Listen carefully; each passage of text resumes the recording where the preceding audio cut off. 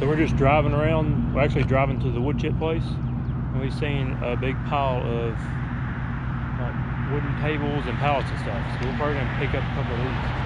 We can definitely use something, use them for something.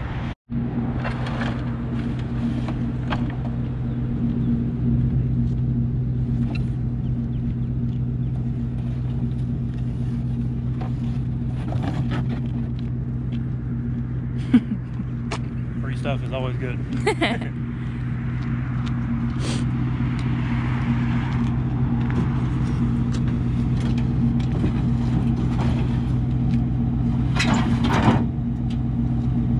One down. What pallet do you want? I want. There's a really heavy one right there, but then there's a lighter one up there. Both. Okay.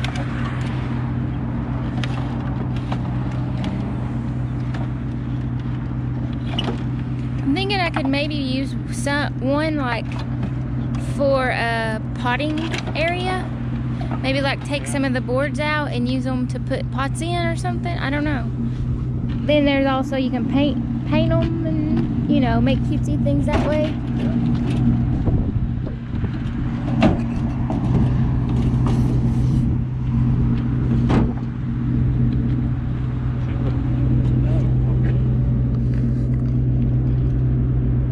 Would you want me to lift this up and you push it?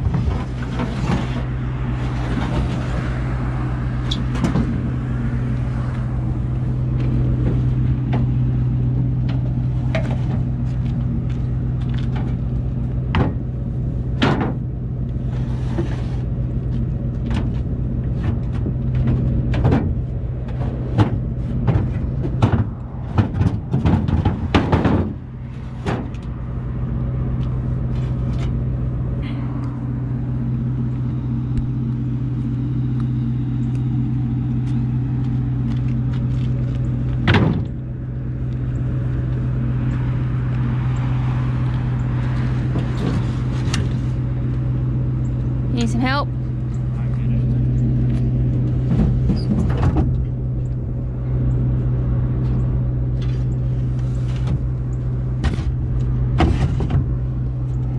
Oh, the wood chips are hot. Yeah.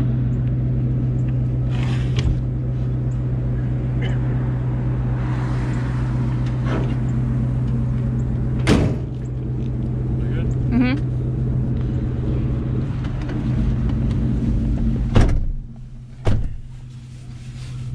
Bet you never thought you'd do that before. Not necessarily. You're funny.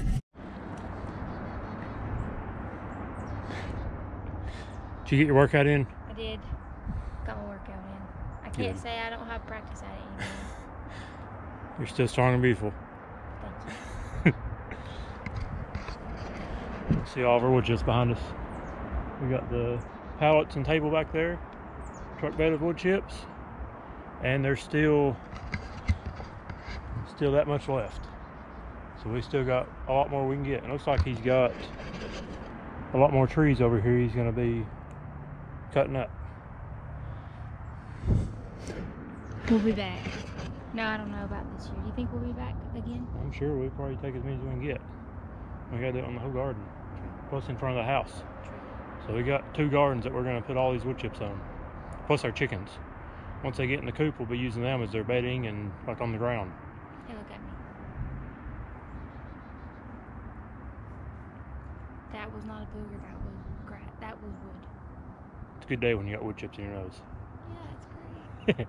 Yesterday, after getting the wood chips, we went to my grandparents' house and we picked up my granddad's wheelbarrow. And then we've got a rake in here too.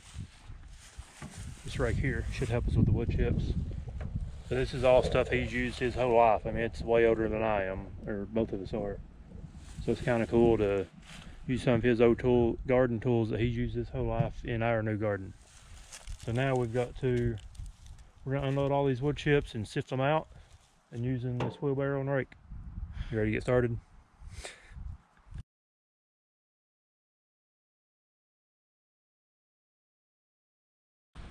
There's our first wheelbarrow of sifted wood chips. They look pretty good. They're little small pieces that the back to Eden way that Paul Gautschi says in his garden. This is what he puts on his vegetable garden. And the bigger pieces, like down there, he puts in his, he puts those in his, on his um, orchard, like his trees. So we're planning to use this in our garden part. It looks pretty good, don't you think? Yeah. It's just gonna take a while. a lot of sifting.